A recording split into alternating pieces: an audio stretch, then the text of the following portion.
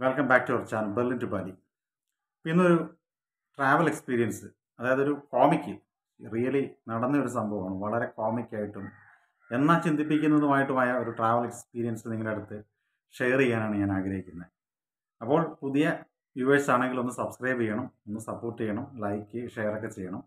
അപ്പോൾ ഞാൻ വീഡിയോയിലേക്ക് കടക്കുകയാണ്.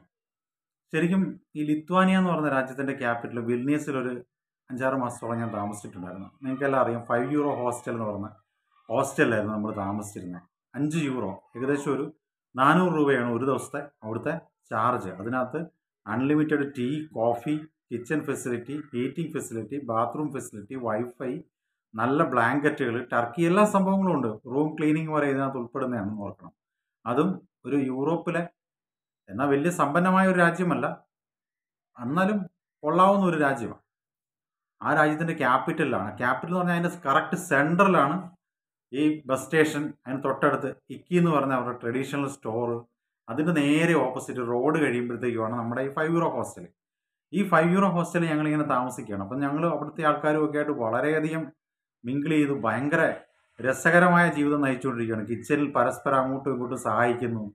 കിച്ചണിൽ വരുന്ന ആൾക്കാരുമായിട്ട് മിങ്കിൾ ചെയ്യുന്നു. അവരുമായിട്ട് ഭയങ്കര സഹകരണം. ജീമി ജീമി ആജ ആജ എന്നൊക്കെ പറഞ്ഞ മിഥുൻ ചക്രവർത്തിയുടെ ഏതോ ഹിന്ദി പഴയൊരു ഇതാണ്. റഷ്യക്കാർ വന്നു കഴിഞ്ഞാൽ നമ്മുടെ കയ്യിൽ പിടിക്കുന്നു. അടുക്കളയിൽ വെച്ച് ജീമി ജീമി ആജ ആജ എന്ന് പറയാതെ അവർ വിടത്തില്ല. റഷ്യയിലൊക്കെ ഈ മിഥുൻ ചക്രവർത്തി അതുപോലെയുള്ള പഴയ ചില ഹിന്ദി സിനിമാ താരങ്ങൾക്കൊക്കെ ഭയങ്കര ഒരു ഇതാണ്. കാരണം ഈ ബോളിവുഡ് സിനിമകൾ അവർ ധാരാളം കാണുന്നുണ്ട്. ഇപ്പോഴും കാണുന്നുണ്ട്. പക്ഷേ പഴയ ആൾക്കാരുടെ മിഥുൻ ചക്രവർത്തിയൊക്കെ അവരുടെ ശരിക്കും റിയലി ഹീറോയാണ് ഷാറൂഖ് ഖാനെ കഴിഞ്ഞും കൂടുതലായിട്ട് ഒരു മിഥുൻ ചക്രവർത്തിയൊക്കെയാണ് ഇപ്പോഴും ആരാധിക്കുന്നത്. അപ്പം ഈ അടുക്കളയിൽ പുതിയതായിട്ട് റഷ്യക്കാർ വന്നിട്ടുണ്ടെങ്കിൽ റഷ്യയായിട്ട് ബന്ധമുണ്ടായിരുന്ന സോവിയറ്റ് യൂണിയന്റെ ഭാഗമായിരുന്ന രാജ്യക്കാരൊക്കെ വന്നിട്ടുണ്ടെങ്കിൽ ജീമി ജീമി ആച പാടാതെ അവർ വിടില്ല. അതൊരു അവരുടെ ഒരു റൊട്ടീനാണ്. കാരണം ഇന്ത്യക്കാരെ കണ്ടു കഴിഞ്ഞാൽ തീർച്ചയായിട്ടും ഇത് അവർ ചെയ്തിരിക്കും. അങ്ങനെ ഇരിക്കുന്ന സമയത്താണ് ഞങ്ങളൊരു മൂന്ന് പേരാണ് ആദ്യമായിട്ട് റൂമിൽ താമസിച്ചത്. നമ്മുടെ അർദ്ധറപ്പച്ചനുണ്ട്. ഞങ്ങൾ മലയാളികൾ മൂന്ന് പേര്. പിന്നെ വേറെ ഇടയ്ക്ക് വന്നും പോയി നിൽക്കുന്ന ചില ആൾക്കാരൊക്കെ ഉണ്ട്. അതായത് യു കെയിൽ പോയി മേസ്തിരിപ്പണി ചെയ്യുന്ന ഒരു ലിത്വാനിയക്കാരൻ. അയാൾക്ക് ഇടയ്ക്കിടയ്ക്ക് വന്നും പോയി നിൽക്കും. രണ്ട് മൂന്ന് മാസം കൂടുമ്പോഴത്തേക്കും വരിക വീണ്ടും പോവുക. അങ്ങനെ അങ്ങനെയാണ് അവരുടെ പരിപാടി. അപ്പം ഞങ്ങൾ ഞാൻ ഈ ബിയർ കുടിച്ചു കഴിഞ്ഞാൽ റൊമാന്റിക് ആണ് അജീഷ് എന്ന് പറഞ്ഞ ആൾ പിന്നെ നമ്മുടെ ജിത്തു എന്ന് പറഞ്ഞൊരു സുഹൃത്ത്. പുള്ളി ഓൾറെഡി ഇറ്റലിയിൽ ജോലി ഉണ്ടായിരുന്നു. ആ ജോലിയിൽ നിന്ന് ഒരു ഭാഗികമായി ലീവ് എടുത്ത് ഈ ലിത്വാനിയയിൽ വന്നിട്ട് ബിസിനസ് വിസ കരസ്ഥമാക്കാൻ വേണ്ടി വന്നതാണ് ഞങ്ങൾ മൂന്ന് പേരും. അപ്പം ജിത്തുവും ഞാനും ഇറ്റലിയിൽ നിന്നാണ് വന്നത് അജീഷ് പോളണ്ടിൽ നിന്നും ബസ്സിലും വന്നു. അങ്ങനെ ഞങ്ങൾ മൂന്ന് പേരാണ് അവിടെ താമസം തുടങ്ങി അപ്പോൾ വരുൺ എന്ന് പറഞ്ഞ ഒരു ഹിന്ദിക്കാരനുണ്ട്. ഈ ഹിന്ദിക്കാരനാണ് ഞങ്ങൾ ഈ ഹോസ്റ്റലിൽ കൊണ്ടേ ആക്കുകയും അവിടെ നിങ്ങൾ താമസിച്ചോളാനൊക്കെ പറഞ്ഞിട്ട് എന്തെങ്കിലും പാത്രങ്ങളോ എന്തെങ്കിലുമൊക്കെ വേണമെങ്കിൽ നിങ്ങൾക്ക് ഞാൻ കൊണ്ട് കൊണ്ട് തരാമെന്നൊക്കെ പറഞ്ഞിട്ടാണ് പുള്ളി പോയത്. പുള്ളി ഒരു പ്രത്യേക ഒരു മൈൻഡുള്ള മനുഷ്യനാണ്. പക്ഷേ വിസയൊന്നും കിട്ടിയില്ല. അത് യാഥാർത്ഥ്യമാണ്. അങ്ങനെ താമസിച്ച് വന്ന സമയത്ത് ജോബിൻ സെബാസ്റ്റ്യൻ എന്ന് പറഞ്ഞ ഹോസ്പിറ്റാലിറ്റി ഫീൽഡിലൊക്കെ വർക്ക് ചെയ്യുന്ന ഒരു ആളുണ്ട്. നമ്മുടെ ഈ ഉറ്റ സുഹൃത്താണ്. അപ്പോൾ പുള്ളി അവിടെ യാദൃശ്യമായിട്ട് മാൾട്ടയിൽ നിന്ന് ഈ സെയിം വിസയ്ക്ക് തന്നെ വരികയും. അതുപോലെ തന്നെ കുറച്ച് കഴിഞ്ഞപ്പോഴത്തേക്കും അരുൺ എന്ന് പറഞ്ഞ അരുൺ വിശ്വാസം എന്ന് പറഞ്ഞ നമ്മുടെ ഇപ്പം ഉറ്റ സുഹൃത്താണ്. പുള്ളി അവിടെ വരികയും ചെയ്തത് അങ്ങനെ ഞങ്ങൾ അഞ്ച് പേരായിരുന്നു ആയിരുന്നു. ഇടയ്ക്കിടയ്ക്ക് ഞങ്ങൾ ഈ വിസയുടെ കുറിച്ച് സ്റ്റെല്ലയെ വിളിച്ച് ഇമിഗ്രേഷനിൽ അന്വേഷിക്കുന്നു. സ്റ്റെല്ല പറയുന്നു വെയിറ്റ് ചെയ്യാൻ പറയുന്നു. കുറച്ച് കഴിയുമ്പോഴത്തേക്കും സ്റ്റെല്ല തിരിച്ചു വിളിക്കുന്നു. നിങ്ങളുടെ വിസയൊന്നും ആയിട്ടില്ല. എന്നൊക്കെ ഉള്ള രീതിയിൽ ഇങ്ങനെ സ്ഥിരമായിട്ട് ഇങ്ങനെ റൂട്ടീനായിട്ട് രാവിലെ ഒരു കോട്ട് ഇടുന്നു. ഒരു പത്ത് മണി പതിനൊന്ന് കൂടി ഇക്കിയിലേക്ക് നേരെ ഓടിച്ചെന്ന് കയറുന്നു ഒന്നോ രണ്ടോ ആപ്പിൾ മേടിക്കുന്നു. ഗുവാട്ടിമാലയിൽ നിന്നും ലാറ്റിൻ അമേരിക്കയുടെ പല ഭാഗങ്ങളിൽ നിന്നും എത്തിച്ചേർന്നേക്കുന്ന ബനാനയൊക്കെ ഉണ്ട് ഈ ബനാനയൊക്കെ എക്സ്പയർ ചെയ്യുമ്പോൾ പകുതി വിലയ്ക്ക് തരും. പത്ത് മുപ്പത്തഞ്ച് നാൽപ്പത് രൂപയ്ക്ക് അമ്പത് സെന്റ് നാൽപ്പത് സെന്റിനൊക്കെ നമുക്ക് അര കിലോയോ ഒരു കിലോയൊക്കെ കിട്ടിയ കാലമൊക്കെ ഉണ്ട്. സബോളയ്ക്കൊക്കെ സത്യം പറഞ്ഞാൽ ഭയങ്കര വില വിലക്കുറവായിരുന്നു. നമ്മുടെ നാട്ടിലെ ഇരുപത് രൂപ പതിനെട്ട് രൂപ ഇരുപത് രൂപയൊക്കെ ആയിരുന്നു സബോളയ്ക്ക് ഉരുളക്കിഴങ്ങിന് ക്യാരറ്റിന് അത് നല്ല ഫ്രഷ് സാധനം. അത് എക്സ്പോർട്ട് ക്വാളിറ്റി ആണെന്ന് കൂടി ഓർക്കണം. ഈ നാട്ടിലൊന്നും സവോളയൊന്നും ഉണ്ടാകത്തില്ല. ഈജിപ്തിൽ നിന്നും മറ്റു പല സ്ഥലങ്ങളിൽ നിന്നും വന്നിട്ട് ഉള്ള സവോളയാണ് എക്സ്പോർട്ട് ക്വാളിറ്റി സവോളയാണ് ഇരുപത് ഇന്ത്യൻ രൂപയ്ക്ക് കൊടുക്കുന്നത്. ഏകദേശം ഒരു ഇരുപത്തിയഞ്ച് സെന്റിന് കൊടുക്കണം എന്ന് ഓർക്കണം. അപ്പോൾ ഇന്ത്യയിലുള്ള കച്ചവടക്കാരെ ഇടനിലക്കാരെയൊക്കെ ഓടിച്ചിട്ട് തല്ലിക്കൊല്ലണം. കിണറ്റി തള്ളിയിടാനായിട്ട് നമ്മൾ ബാധ്യസ്ഥരാണ്. കാരണം ലോകത്തിലെ ഏറ്റവും ക്വാളിറ്റി കുറഞ്ഞ സാധനം വിൽക്കുന്നതും ഏറ്റവും വില വാങ്ങിക്കുന്നതും ഇന്ത്യൻ മാർക്കറ്റുകളിലാണ്. മറ്റുള്ള രാജ്യക്കാർ യൂറോപ്പിൽ തന്നെ സബോളയ്ക്ക് ഉരുളക്കിഴങ്ങിനും ക്യാരറ്റിനും ഒക്കെ ക്യാരറ്റൊക്കെ ആ സമയത്തൊക്കെ നമ്മളിവിടെ എൺപത് രൂപയാണ്. വെറും ഇരുപതും ഇരുപത്തഞ്ചും രൂപയ്ക്ക് ക്യാ മറ്റേ ക്യാബേജൊക്കെ കിട്ടും. എല്ലാത്തിനും വളരെ വിലക്കുറവ്. വളരെ ചില സാധനങ്ങൾ അരിയും മറ്റു പലചരക്ക് സാധനങ്ങൾക്കൊക്കെ വില കൂടുതലുണ്ട് പക്ഷേ ഇങ്ങനെയുള്ള സാധനങ്ങൾക്കെല്ലാം വളരെ വിലക്കുറവാണ്. ഇടയ്ക്ക് ഒരു മെഡിമിക്സ് സോപ്പ് ഒന്ന് രണ്ട് പാക്കറ്റ് അവിടെ കാണുകയും ചെയ്തു. അതൊക്കെ ഭയങ്കര സന്തോഷകരമായ അനുഭവമാണ്. ഞങ്ങൾ ഇക്കിൽ വന്ന് കയറുന്നു ആപ്പിൾ തിന്നുന്നു ആപ്പിൾ മേടിക്കുന്നു കൊണ്ടുവന്ന് കഴിക്കുന്നു. പിന്നെ കയറുമ്പോഴത്തേക്കും ഒരു പരിപാടിയുണ്ട്. ഇങ്ങനെ കൈയിട്ടൊരു വാറല്ല. നമ്മുടെ ഇതുണ്ട്. കാഷ്യൂ നട്ടുണ്ട് ആൽമോണ്ട്സ് അതുപോലെ തന്നെ പിസ്റ്റാച്ചിയോസ് വാൾനട്ട് ഇതൊക്കെ ഏത് ഇന്നിപ്പം വാൾനട്ടാണ് എടുത്തെങ്കിൽ നാളെ കാഷ്യൂ നട്ടായിരിക്കും പിറ്റേ ദിവസം പിസ്റ്റാച്ചിയോ ആയിരിക്കും. നമ്മളിങ്ങനെ കൈയിട്ട് വാരിയിട്ട് ഇങ്ങനെ കഴിച്ചിട്ട് ഇങ്ങനെ ഒരു പ്രത്യേക ഒരു എക്സ്പ്രഷനൊക്കെ വെച്ചു. അപ്പുറം സെക്യൂരിറ്റി ഒക്കെ നിന്ന് കാണുന്നുണ്ട്. പിടിച്ചു കഴിഞ്ഞാൽ ഇടി കിട്ടും. പക്ഷെ അവർ കണ്ടിട്ട് മൈൻഡ് ചെയ്യാതിരുന്നാണോ എന്ന് എനിക്കറിയത്തില്ല. ഇടയ്ക്ക് മുന്തിരിങ്ങ എടുത്ത് ടേസ്റ്റ് ചെയ്യുന്നു. മുന്തിരിങ്ങയൊക്കെ ടേസ്റ്റ് ചെയ്യാന്ന് പറഞ്ഞാൽ കാ മുതിരിങ്ങയൊക്കെയാണ് ഞങ്ങൾ ടേസ്റ്റ് ചെയ്തിട്ട് അങ്ങ് കയറുന്നത് കയറിയിട്ടൊന്നും എന്തെങ്കിലും ഒന്ന് നോമിനലായിട്ടുള്ള എന്തെങ്കിലും വാങ്ങിയിട്ട് തിരികെ ഇറങ്ങുക. ഇങ്ങനെ ഇരുന്ന സമയത്ത് ഞങ്ങളുടെ റൂമിലേക്ക് പുതിയൊരു അതിഥി എത്തുവാണ്. ഒരു ജോർജിയക്കാരൻ. ചോദിച്ചപ്പോഴത്തേക്കും ജോർജിയ ജോർജിയ എന്നൊക്കെ പറഞ്ഞപ്പോൾ ഭാഷയൊന്നും അറിയില്ല. ജോർജിയക്കാരനാണെന്ന് മനസ്സിലായി. അതായത് കണ്ടു കഴിഞ്ഞാൽ ഒരു ദാരിദ്ര്യം അത്യാവശ്യമുണ്ട് എന്ന ഒരു ജെന്റിൽ ലുക്കും ഉണ്ട്. നമ്മുടെ ദസ്തേവ്സ്കിയുടെയൊക്കെ ചില കഥകൾക്കകത്തുള്ള കഥാപാത്രങ്ങളെ അനുസ്മരിപ്പിക്കുന്ന രീതിയിലുള്ള ഒരു വ്യക്തിയാണ്. വലിയ പ്രായമൊന്നുമില്ല. ഒരു പത്ത് മുപ്പത്തഞ്ച് മുപ്പത്തിയെട്ട് വയസ്സിനടുത്ത് പ്രായമുള്ള ഒരാളാണ്. അപ്പോൾ ഇയാൾ വന്ന് കയറി ഞങ്ങളുമായിട്ടൊക്കെ സംസാരിക്കാനായിട്ടൊക്കെ ശ്രമിച്ചിട്ടുണ്ട്. പക്ഷേ നമ്മൾ അതിൽ പരാജയപ്പെടുകയാണ്. ഒരു ദിവസം നോക്കുമ്പോഴത്തേക്ക് നമ്മുടെ അരുണും ഈ ജോർജിയക്കാരും തമ്മിൽ ഭയങ്കരമായിട്ട് സംസാരിക്കുന്ന രീതി. എന്തോ ആംഗ്യങ്ങളും ഒക്കെ കാണിച്ച് ഞങ്ങൾ നോക്കുമ്പോൾ ഭയങ്കര രസകരമായിട്ട് തോന്നി. പിറ്റേ ദിവസം മുതൽ കാണുന്ന കാഴ്ച വേറെയാണ്. ഈ അരുണിന്റെ കയ്യിൽ ലാപ്ടോപ്പ് ഉണ്ട്. അജീഷിന്റെ കയ്യിൽ ലാപ്ടോപ്പ് ഉണ്ട്. ഞങ്ങളൊന്നും ലാപ്ടോപ്പ് അങ്ങനെ ഉപയോഗിക്കാറില്ല. ഞാൻ ജീവിതത്തിൽ തന്നെ ലാപ്ടോപ്പ് ഉപയോഗിച്ച നിമിഷങ്ങൾ വളരെ അപൂർവങ്ങളിൽ അത്യപൂർവമാണ്. എന്റെ കയ്യിൽ എണ്ണാൻ പറ്റും. അത് അത്രേ ഉള്ളൂ. മറ്റു പക്ഷേ ഇവർക്കൊന്നും ഈ ലാപ്ടോപ്പ് ഒഴിച്ചുകൂടാൻ പറ്റും അജീഷ് എപ്പോഴും സിനിമ കാണാനും ഒക്കെ ഉപയോഗിക്കും. അരുണും ഉപയോഗിക്കും. പിന്നെ ഫോട്ടോസൊക്കെ അതിനകത്ത് സേവ് ചെയ്യാനും പഠിക്കണം അപ്പം ഈ അരുണിന്റെ ലാപ്ടോപ്പ് എപ്പോഴും ഈ അവന്റെ ബെഡിന്റെ മേളിലായിരിക്കും. അജീഷ് എപ്പോഴും എന്തെങ്കിലും സിനിമയൊക്കെ കണ്ടുകൊണ്ടിരിക്കും. അപ്പം ഈ ജോർജിയക്കാരനും അരുണും തമ്മിൽ സംസാരിച്ചു. എന്തോ ഡീലിലെത്തിയ മാതിരി. ഇവർ ഈ അരുൺ ലാപ്ടോപ്പ് എടുത്ത് ജോർജിയക്കാരന് കൊടുക്കുകയാണ്. ജോർജിയക്കാരൻ ലോബിയിൽ ചെല്ലുന്നു. ലോബി എന്നൊക്കെ പറഞ്ഞാൽ വെടിക്കിട്ട് ലോബിയാണ് നിങ്ങൾ സ്വപ്നത്തിൽ പോലും കരുതുന്നതിന് അപ്പുറമാണ്. ഈ നാനൂറ് രൂപയ്ക്ക് എന്ന് പറഞ്ഞാൽ ഒരു ത്രീ സ്റ്റാർ ഹോട്ടലിൽ കിട്ടുന്ന അതേ രീതിയിലുള്ള ലോബി അഞ്ചെട്ട് സോഫ സെറ്റുകൾ ഒരു സൈഡിൽ ഒരു ട്രെഡ്മില്ല് വെള്ളം അടിക്കാനുള്ള വോട്ട് കഴിക്കാനുള്ള സംവിധാനങ്ങൾ ടി വി സകലമാന പരിപാടികളുണ്ട്. പക്ഷേ ആ ഹോസ്റ്റലിലെ അന്തേവാസികൾ ശരിക്കും കൂലിക്കാരാണ് കൂലിപ്പണിക്കാരാണ്. റഷ്യയിൽ നിന്നും ഉക്രൈനിൽ നിന്നും ജോർജിയ പോലുള്ള രാജ്യങ്ങളിൽ നിന്നും മറ്റു പല ഈ കസക്കിസ്ഥാൻ ഉസ്ബെക്കിസ്ഥാൻ തുടങ്ങിയ രാജ്യങ്ങളിൽ നിന്നൊക്കെ വന്ന കൂലിപ്പണിക്കാരാണ് ഈ ലോബിയിൽ കൂടുതൽ ഇരിക്കുന്നത്. ഇവരുടെ കയ്യിൽ വലിയ ബാസ്ക്കറ്റ് പോലെ നമ്മൾ നാട്ടിലെ കൊണ്ടുപോകാനായിട്ട് മടിക്കുന്ന രീതിയിലുള്ള ബാസ്ക്കറ്റുകളാണ് ബാസ്ക്കറ്റുകൾ എന്ന് പറഞ്ഞാൽ വലിയ ചാക്കിന്റെ സഞ്ചിക്കകത്തൊക്കെ മൂന്നാലഞ്ച് സഞ്ചികൾ കാണും. ഇവർ ഈ ചായ കുടിക്കുക നമുക്ക് ഫ്രീ ടീ ആൻഡ് കോഫി എന്ന് പറഞ്ഞാൽ റഷ്യക്കാരന്റെ കയ്യിലിരിക്കുന്ന മഗ് എന്നൊക്കെ പറഞ്ഞാൽ ഇത്രയും കാണും. അതായത് ഒരു രണ്ട് ലിറ്റർ കൊള്ളുന്ന മകിനകത്താണ് ഇവനൊരു ചായ കുടിക്കുന്നത് എട്ട് പത്ത് പാക്കറ്റ് ഇതിന്റെ പൊട്ടിച്ചിടുക. നമ്മുടെ ഈ ഇതിന്റെ ബാഗ് പൊട്ടിച്ചിട്ട്. പഞ്ചസാരയൊക്കെ ഇട്ടുമാർ കുടിക്കുന്ന കുടി കണ്ടു കഴിഞ്ഞാൽ നമ്മൾ ഞെട്ടിപ്പോവും. ഇത് എങ്ങോട്ടേക്ക് ഇറങ്ങി പോകുന്നത് നമുക്ക് സംശയം തോന്നും. അതുപോലത്തെ കുടിയാണ്. അമ്മ റഷ്യക്കാരെയൊക്കെ ഇവിടെ കയറ്റി കഴിഞ്ഞാൽ ആ ഹോട്ടൽ മുടിഞ്ഞെന്ന് കൂട്ടിക്കൊണ്ടാൽ മതി. അതുപോലെ ഉക്രൈൻസ് എല്ലാം ഉണ്ട്. ടാക്സി ഡ്രൈവർമാർ ട്രക്ക് ഡ്രൈവർമാർ വിന്റർ സീസണിൽ അവരുടെ വീട് ഉപേക്ഷിച്ച് വന്ന ഈ ക്രിസ്റ്റീനായും അവളുടെ അമ്മയും കൂട്ടുള്ള ആൾക്കാർ സ്ഥിരമായിട്ടുള്ള അന്തേവാസികൾ. ഇവരെല്ലാം അടങ്ങുന്ന ഒരു വൻ സംഘമാണ്. ഇടയ്ക്കിടയ്ക്ക് ടൂർ പോയിട്ട് വരുമ്പോഴത്തേക്കും ഒരു വൺ നൈറ്റ് ഒക്കെ സ്റ്റേ ചെയ്യാനായിട്ട് ഫ്രാൻസിൽ നിന്നും നെതർലാൻഡ്സിൽ നിന്നൊക്കെ കുട്ടികൾ വന്നായിട്ടൊക്കെ ഓർക്കുന്നു പത്തും ഇരുന്നൂറ് കുട്ടികളൊക്കെ ഒരുമിച്ച് വന്ന് അവർ ജസ്റ്റ് ഒരു നൈറ്റ് സ്പെൻഡ് ചെയ്ത് പിറ്റേ ദിവസം വെളുപ്പിന് തന്നെ അവർ അടുത്ത ഡെസ്റ്റിനേഷനിലേക്ക് പോകുന്ന കാഴ്ചയൊക്കെ കാണാൻ ഇടയായിട്ടുണ്ട്. അപ്പോൾ അങ്ങനെ ഇരിക്കുമ്പോഴാണ് ജോർജിയക്കാരൻ വന്നിട്ട് ഈ ലോബിയിൽ വന്നിട്ട് ഭയങ്കര സംസാരമാണ്. രണ്ടു മൂന്ന് ദിവസം ഞാൻ ശരിക്കും പറഞ്ഞ ലോബിയിൽ എന്റെ ഞാൻ ഈ റൂമിൽ അങ്ങനെ കിടക്കാറില്ല. ലോബിയിലാണ് എന്റെ പ്രധാനപ്പെട്ട സ്ഥലം. ലോബിയിലെ ഒരു സോഫയിൽ ഒരു കോർണറിലുള്ള ഒരു സോഫയിൽ ഞാൻ ഈ ഷെർലക് ഹോംസിന്റെയൊക്കെ നോവലൊക്കെ വായിച്ചിങ്ങനെ ഇരിക്കും. ഒന്ന് രണ്ട് ബിയറും ഒക്കെ മേടിച്ച് അവിടെ ലീഡർ എന്ന് പറയുന്നൊരു ഫേമസ് ബിയർ ഉണ്ട് നിങ്ങൾ ആരെങ്കിലും പോകുന്നുണ്ടെങ്കിൽ ചെന്ന് ലീഡർ എന്ന് പറഞ്ഞൊരു ബിയർ ചോദിച്ചാൽ മതി. വളരെ അടിപൊളിയായിട്ടുള്ള ബിയറാണ്. ഏറ്റവും ചീപ്പായിട്ട് അന്നേണ്ട അമ്പത് രൂപയുള്ളൂ അത് ഇട്ട് കൊടുത്തു കഴിഞ്ഞാൽ പത്ത് രൂപ തിരി എട്ട് രൂപ തിരിച്ച് കിട്ടും. അപ്പോൾ നാൽപ്പത്തിരണ്ട് രൂപയുള്ള ആക്ച്വലി ആ ബിയറിന്റെ കോസ്റ്റ് എന്ന് പറഞ്ഞു അപ്പോൾ ആ ബിയറും കുടിച്ച് ഷെർലക് ഹോംസിന്റെ നോവലൊക്കെ വായിച്ച് ഇങ്ങനെ ഇരിക്കുക. ഇങ്ങനെ ഇരുന്ന സമയത്താണ് ഈ ജോർജിയക്കാരൻ ഇപ്പം നിന്ന് പൊട്ടിത്തെറിക്കുവാണ്. ഭയങ്കരമായിട്ട് പ്രക്ഷുബ്ധമായിട്ട് ഇവർ ആരോടെ ചൂടാവുകയാണ് അപ്പം ഞാനിത് വളരെയധികം ശ്രദ്ധിച്ചു. ശ്രദ്ധിച്ചിട്ട് ഞാൻ അരുണിനോട് പറഞ്ഞു നിങ്ങൾ എന്തിനാ ഈ ലാപ്ടോപ്പ് ഇയാൾക്ക് കൊടുക്കുന്നത് അയാൾ എന്തൊക്കെയോ പിച്ചും പേയൊക്കെ വിളിച്ച് പറഞ്ഞു. നിങ്ങൾ എന്താ കൊടുത്തത് പുള്ളി പറഞ്ഞ അയാൾ അയാളുടെ വൈഫ് കുട്ടികളൊക്കെ ഉണ്ട്. അയാളുടെ ഈ ജോർജിയക്കാരന്റെ കയ്യിൽ നോക്കിയയുടെ ഒരു പഴയ ഫോണാണ് ഉള്ളത്. നമ്മൾ ഈ നിലത്തെറിഞ്ഞാൽ പൊട്ടത്തില്ലാത്ത പണ്ടത്തെ ഫോണില്ല ആദ്യകാലത്തെ നല്ല വെയിറ്റൊക്കെ ഉള്ള ഫോൺ. അമ്മിക്കല്ല് പോലിരിക്കുന്ന ആ ഫോണാണ്. അപ്പോൾ അതിനകത്തൊരു പരിപാടികളൊന്നും നടക്കത്തില്ല. ജോർജിയയിലേക്ക് കോൾ ചെയ്യണമെങ്കിൽ നല്ല ചാർജും കൊടുക്കും. അപ്പം ഈ സ്കൈപ്പിലോ അതുപോലെ തന്നെ മെസ്സഞ്ചറോ സ്കൈപ്പാന്ന് തോന്നുന്നു യൂസ് ചെയ്തിരുന്നത് സ്കൈപ്പിൽ പുള്ളി വീട്ടിലേക്ക് വിളിക്കുക. അപ്പോൾ അയാൾ ഭാര്യയെയും കുട്ടികളെയൊക്കെ വിളിക്കുന്നതാണ്. അപ്പോൾ അത് കാരണം കൊടുത്താണ് ചോദിച്ചത് പാവല്ല ചേട്ടാ ഞാൻ പറഞ്ഞു ഓക്കെ ആയിക്കോട്ടെ എന്ന് പറഞ്ഞു. പിന്നെ ഇടയ്ക്കിടയ്ക്ക് ഈ ഭയങ്കരമായിട്ട് പൊട്ടിത്തെറികൾ കണ്ട് ഞാൻ അരുണിനെ വിളിച്ച് കാണിക്കുകയാണ്.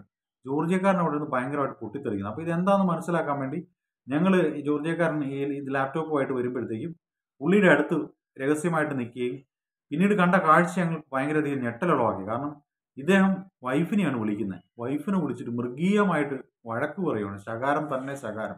അവരിടയ്ക്ക് നിന്ന് കരയുന്നു. ഒന്ന് രണ്ട് കുട്ടികളുണ്ട്. ഇയാൾ എനിക്ക് തോന്നുന്നു വീട്ടിൽ നിന്ന് പിണങ്ങിയോ അങ്ങനെ എന്തൊക്കെയോ വന്നേക്കുന്ന ആളാണ്.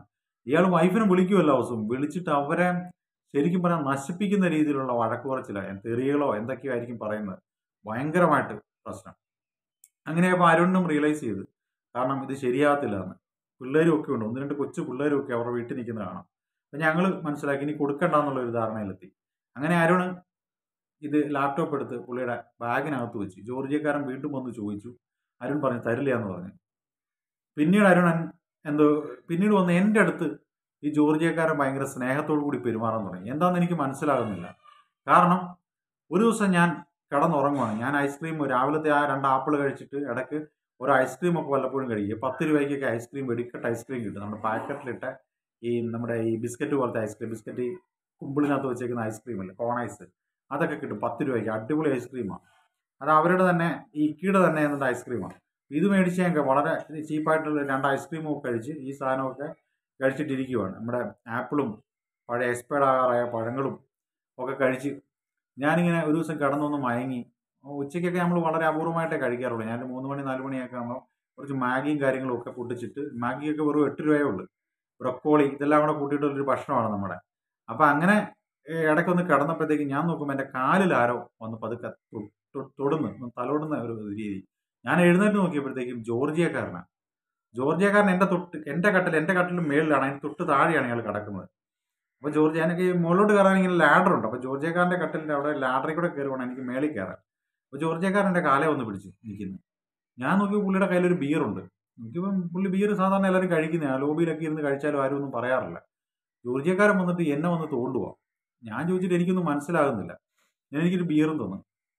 ഞാൻ വേണ്ടാന്നൊക്കെ പറഞ്ഞിട്ട് പുള്ളി നിർബന്ധിച്ച് എനിക്ക് ബിയർ തരുക ഞാൻ പിന്നെ ആ ഒരു മൂഡിലങ്ങ് ആ ബിയറും കഴിച്ചു. ജോർജിയക്കാരന്റെ വേറെ ബിയർ ഉണ്ടായിരുന്നു. അവനാ അവിടുത്തെ എടുത്ത് അവൻ ഒരു ഫ്രിഡ്ജിൽ നിന്ന് പറഞ്ഞോടെ എടുത്ത് അവനും കഴിച്ചു. ഞാനും അവനും കൂടെ ആ ഇരുന്ന് കഴിച്ചു. കഴിച്ച് ഞാനങ്ങ് പോയി. ഇവൻ ഭയങ്കര സൗഹാർദ്ദപരമായിട്ടാണ് പിന്നീട് എന്നോട് പെരുമാറുന്നത്. പിന്നീടാണ് അരുൺ എന്നോട് പറഞ്ഞത് ഈ ലാപ്ടോപ്പ് അരുണിന്റെ അല്ല എന്റെയാന്ന് ഈ ജോർജിയക്കാരനോട് അരുൺ പറഞ്ഞു. അതിൻ പ്രകാരം പുള്ളി എനിക്ക് കൈക്കൂലി തന്നാണ് ഈ നമ്മുടെ ബിയർ അപ്പോൾ ഞാൻ ശരിക്കും പറഞ്ഞാൽ വെട്ടിലായി. അരുണിനോട് ജോർജിയക്കാരൻ ചോദിക്കുമ്പം അരുൺ പറയും എന്റെയാന്ന് പറയും.